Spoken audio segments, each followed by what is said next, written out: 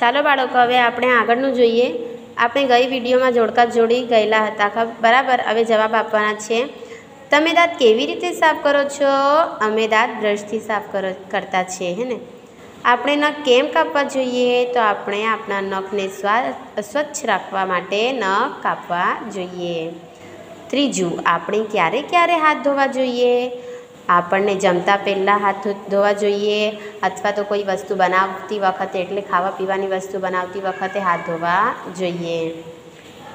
શૌચાલયથી બહાર નીકળે ત્યારે હાથ ધોવા જોઈએ. ચોથું, છીંક ખાતી વખતે મોં આડે રૂમાલ કેમ રાખવો જોઈએ? તો છીંક ખાતી વખતે મોં આડે રૂમાલ એટલા માટે રાખવો જોઈએ કારણ કે આપણા જે, આપણે જ્યારે છીંક લઈએ છીએ ને, તો આપણા રોગનાથી જમશો એટલે કે કીટાણુ તે આપણા માહોલમાં ફેલાઈ જાય છે. તેથી બીજાને પણ બીમારી થવાની શક્યતા રહે છે એટલા માટે આપણને રૂમાલ રાખવો જોઈએ. તો શોર્ટકટમાં ઇન શોર્ટ આપણે એવું લખવાનું છે કે રોગના જમ્સ બીજા વ્યક્તિને ચોંટે નહીં એટલે આપણને ચીક ખાતી વખતે મોં આડે રૂમાલ રાખવા જોઈએ. ધોયેલા કપડાં પહેરવાથી શું ફાયદા થાય છે? ધોયેલા કપડાં પહેરવાથી ગંધ આવતી નથી અને શરીર કેવું રહે છે? સ્વચ્છ શરીર ગંદુ કેવી રીતે થાય છે?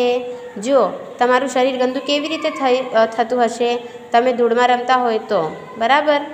હવે ઘરનો કચરો ક્યાં નાખવો જોઈએ? ઘરનો કચરો કચરાપેટીમાં નાખવા જોઈએ. આપણું ઘર કોણ સ્વચ્છ રાખે છે? આપણું ઘર આપણી મમ્મી સ્વચ્છ રાખે છે. ઘર અને ગામનું, ઘર અને ગામને ચોખ્ખું રાખવા શું કરવું જોઈએ? તો કચરો કચરાપેટીમાં નાખવું જોઈએ.